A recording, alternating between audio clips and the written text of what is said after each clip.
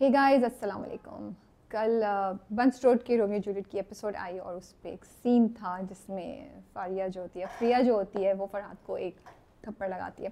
सो so, मैं drama देख रही थी मुझे ड्रामा बहुत अच्छा लग रहा है। I really enjoy watching the drama I think this is one of the dramas that I wait to watch Mondays and Tuesdays मैं एक्साइटेड होती हूँ कि आज मुझे एक बड़ी अच्छी कहानी uh, देखने को मिलेगी।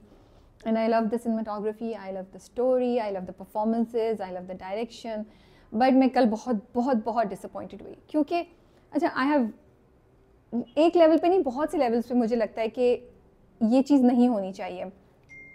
सबसे पहले तो मैं ये कहूँगी कि जो हमारे ड्रामा राइटर्स हैं क्रिएटर्स हैं प्रोडक्शन हाउसेज हैं एक्टर्स हैं डायरेक्टर्स हैं मे बी शायद वो अपनी इंपॉर्टेंस को रियलाइज़ नहीं करते कि how important they are in shaping the mind sets of every one who is watching them चले एवरीवन नहीं तो अगर 500 लोग भी या 200 लोग भी आपको देख के कुछ सीख लेते हैं आपके आपको देख के कुछ सोचते हैं तो आपने इम्पैक्ट तो किया है ना माइंडसेट को।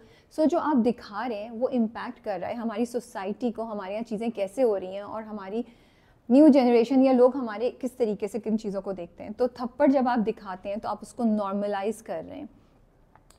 दूसरा मेरा पॉइंट ये था कि वो चीज़ जिसके लिए औरतें इतनी सदियों से औरतें क्या और बहुत से प्लेटफॉर्म्स बहुत से यू नो बॉडीज जो हैं वो दे हैव बीन फाइटिंग कि औरत को थप्पड़ नहीं मारना चाहिए थप्पड़ गलत है अब्यूज़ नहीं होना चाहिए। फिर हम दिखा रहे हैं कि वो uh, वो जेंडर या वो ग्रुप जो जिसके साथ ये ज़्यादती हो रही है वो अब वही ज़्यादती दूसरों के साथ कर रहा है। वो वही थप्पड़ जिसके गिर्द अगेंस्ट वो इतनी जद्दोजहद कर रहे थे वो वही चीज़ किसी दूसरे के साथ कर रहे हैं। तो वो मुझे बड़ा अजीब सा लगता है। तो मुझे लगता है तो फिर क्या ये सब जो हम इतने अरसे से बातचीत हो रही थी, जो इतने अरसे से जद्दोजहद हो रही थी, अभी भी हो रही है, आवाज़ उठाई जा रही है, वो क्या मायने नहीं है उसके? वो मीनिंगलेस है, उसकी कोई वैल्यू नहीं है। बिकॉज़ एक औरत जो कह रही है कि थप्पड़ मुझे मारना सही नहीं है, अब हम एक और औरत को दिखा रहे हैं कि वो जाके उसी चीज़ को, एक मर्द को मारी and we are okay in fact we think oh it's so cool so मैं मैं बस ये बात सोच रही हूँ कि जब हम ये चीज़ दिखाते हैं। क्योंकि देखिए वो कोई ऐसी ग्रेव सिचुएशन नहीं थी। इट वॉज़ नॉट कि उसको अपने आप को प्रोटेक्ट करना था वो गुंडों में फंस गई थी या कुछ भी। एक सिचुएशन थी जिसमें अगर वो चीखती भी चिल्लाती भी या वो थोड़ा सा गुस्सा होती या वो उसको थोड़ा सा पुश भी कर देती it would have been fine so what was the need that she slapped the hero and these are the characters that everybody is loving we love these characters we love these actors so जब आप ये चीज़ करते हैं तो आप एक आप एक ग्रीन uh, सिग्नल देते हैं उस चीज़ के बारे में। मुझे नहीं लगता।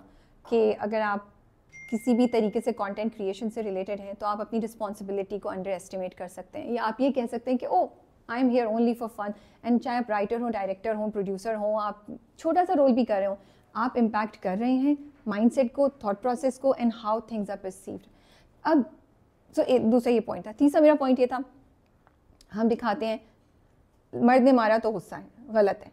अब लड़की ने मारा तो it's no big deal why how can that be third how can we glamorise it how can we say it's so cool कि उसने उस लड़की ने उसको थप्पड़ मार दिया? वजह क्या थी? रीज़न क्या था?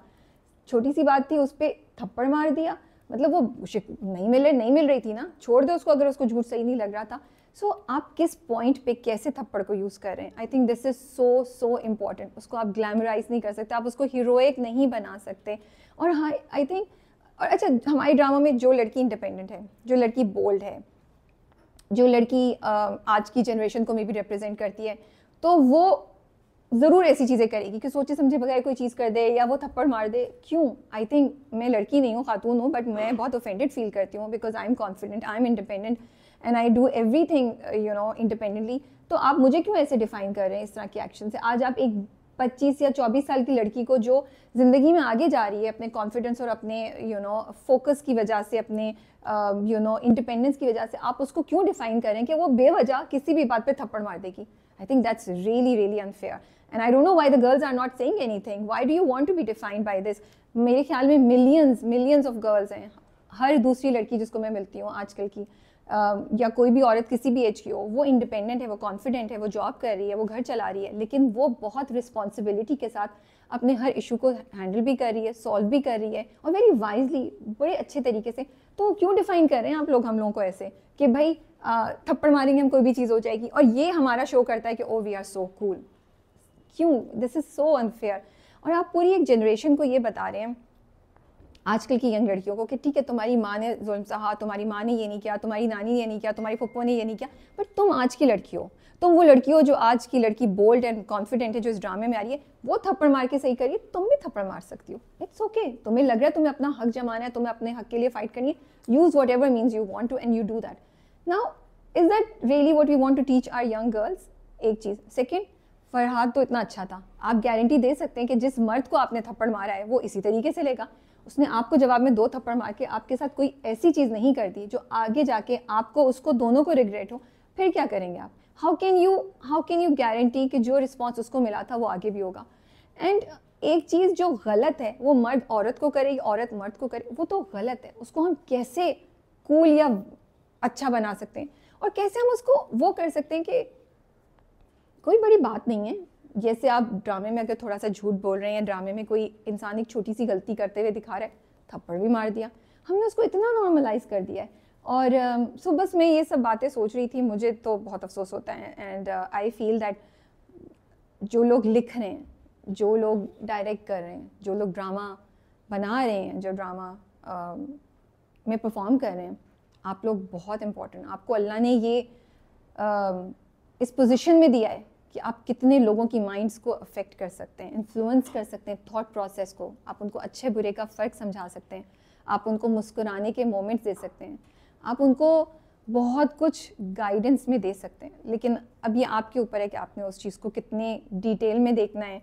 या ये कहना है कि नहीं इंटरटेनमेंट है, कोई फ़र्क नहीं पड़ता, नहीं कुछ सीखते हम। आप हिस्ट्री में जाके केसेस उठाइए केस स्टडीज़ पढ़िए अमेरिका में और कितनी जगहों पे मैं हमेशा ये कहती हूँ ड्रामे sitcoms movies have changed the thought process.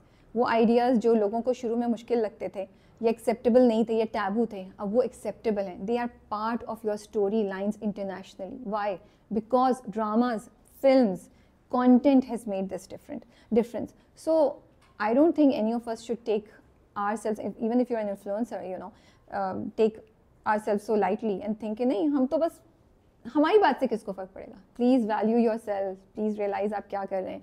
And so uh, मैं बहुत डिसअपॉइंटेड थी। एंड मैं रिक्वेस्ट करूँगी अगर मेरे मेरी आवाज़ मेरी बात कोई भी उस ड्रामे से रिलेटेड कोई भी इंसान सुन रहा है अगर आगे आने वाले एपिसोड्स में ऐसे कोई भी चीज़ है उसको प्लीज़ एडिट कर दें उसको मत दिखाइए। इस अगर ये सीन थप्पड़ वाला नहीं भी होता तो we would have been fine इस थप्पड़ ने सिर्फ़ आई वॉज़ जस्ट लाइक ये क्यों दिखाया मुझे नहीं लगता कि मेरे मेरे लिए स्टोरी कोई कम हो जाती अगर वो थप्पड़ नहीं होता। सो एज आई सेट आगे आने वाली एपिसोड्स में अगर ऐसा कुछ है या कोई और कोई ऐसा ड्रामा बना रहा है और मुझे सुन रहा है तो प्लीज़ इसका ख्याल रखिए इसको देख लीजिए इसको सोच लीजिए। या दैट्स ऑल आप लोग क्या सोचते हैं? कमेंट्स में ज़रूर बताइएगा। I would love to have this conversation positively बात कीजिएगा तमीज़ से बात कीजिएगा अच्छा लगेगा। Um, ये कॉन्वर्सेशन है जो हम कर रहे हैं। ये मेरा पॉइंट ऑफ़ व्यू है, आपका पॉइंट ऑफ़ व्यू डिफरेंट हो सकता है, लेकिन I think it's important to have have a conversation on something so so important and ये बात याद रखिए, जिनके साथ अब्यूज़ होता है, जिनको वो एंड थप्पड़ क्या होता है? सॉरी मैं तो I am going on and on मैं क्या करूँ? मैं बहुत इसको फील कर रही हूँ। थप्पड़ क्यों मारते हैं? थप्पड़ जो फ़िज़िकल जो आप किसी को अब्यूज़ करते हैं ना, उसकी बेजती का एहसास ही डिफरेंट होता है। इसीलिए तो नहीं नहीं करते ना फ़िज़िकल अब्यूज़ तो जब आपने थप्पड़ को नॉर्मलाइज कर दिया है तो आप कह रहे हैं कि इट्स ओके कोई सेल्फ रिस्पेक्ट की बात नहीं, अगर थप्पड़ मार दिया या कुछ कर दिया तो आप हर चीज़ को बहुत मैसअप कर रहे हैं। So that's why I think it's important to be careful about what we are showing and how we are showing या so that's why think it's important have conversation even if you don't agree you can share your view with respect and I would love to hear it that's all bye bye take care अल्लाह हाफिज़